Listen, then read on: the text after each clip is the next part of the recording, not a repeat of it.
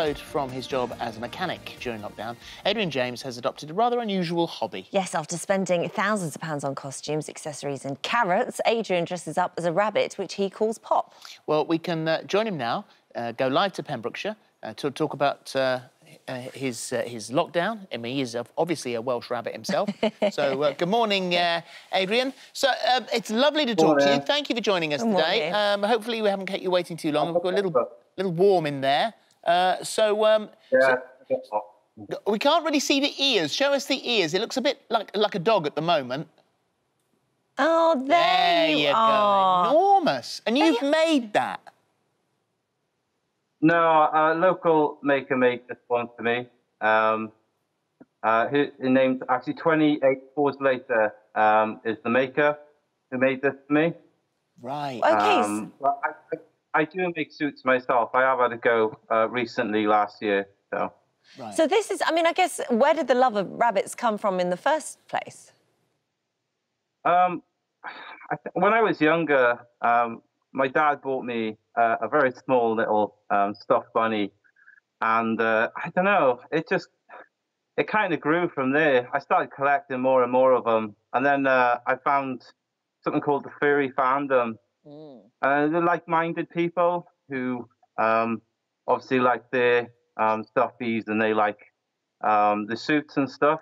So um, I started getting into that, and then before I knew it, I was going to um, meets. Um, I was going to conventions.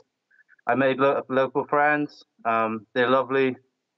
Uh, so yeah, it's just kind of grew from there.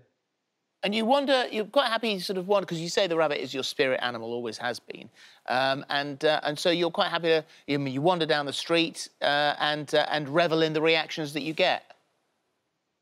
Yeah, it's great. Uh, you do get quite a few different reactions, but mostly it's positive.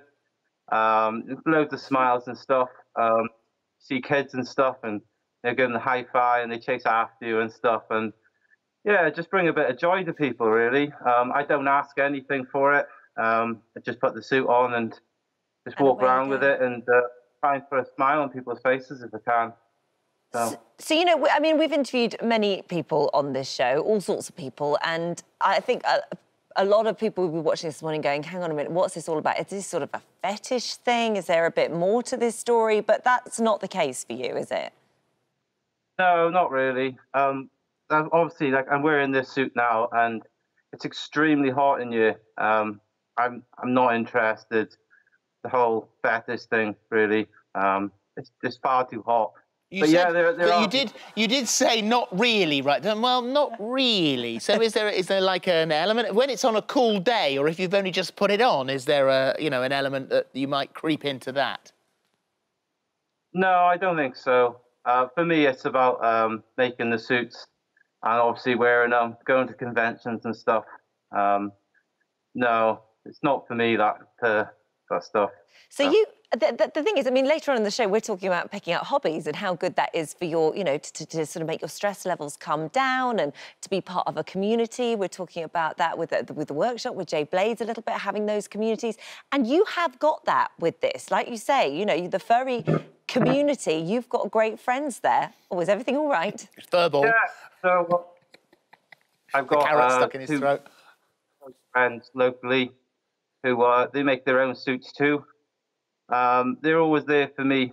Um, you know, if I'm down or whatever, I can send them a message and they'll cheer me up. Yeah. Um, yeah, they're really, really nice people. What's happening? Is your phone, is that a message coming through that's vibrating it? Or is that, what's, what's going on? That's lettuce for you. What was that? Um, Are you okay? It's okay. We just we lost your shot there for a minute. you- I think you- the phone had a message come through. Y- If you were hot, do you want to take the the head off? Oh no, it's okay. Okay, just want to make sure that you're okay in there. Um, so yeah, so so you say uh, that uh, that you, you go to the conventions. You've made actually two of your best friends you met there.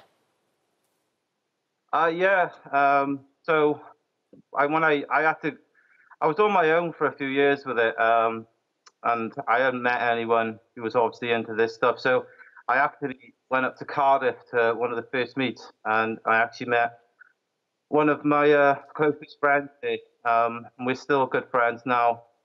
Um, What do they dress? the What do years, I- dress as?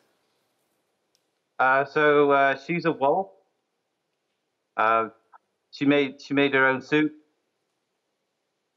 Um, and then uh, my other friend, the monster, is quite cool. Uh, wolf she's and a got like three eyes. And and what's the um, what's the plan now then? Uh, are you going to make more yourself, or um, are you uh, you expanding in any way? Uh, no, it's I. I'm not going to do. Uh, they're called commissions. I I won't be doing any commissions. It's really hard to make these suits.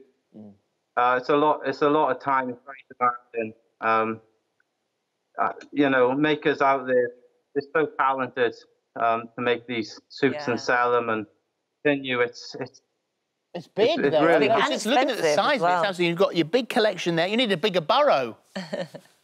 I yeah. I need more space. I know. Yeah. Space. Uh, thank you, Adrian. It's great to meet you. Thank you. oh, thank you. Nice to talk to Take you. Take care. Thanks a lot. Bye bye. Take care. Bye. Bye now.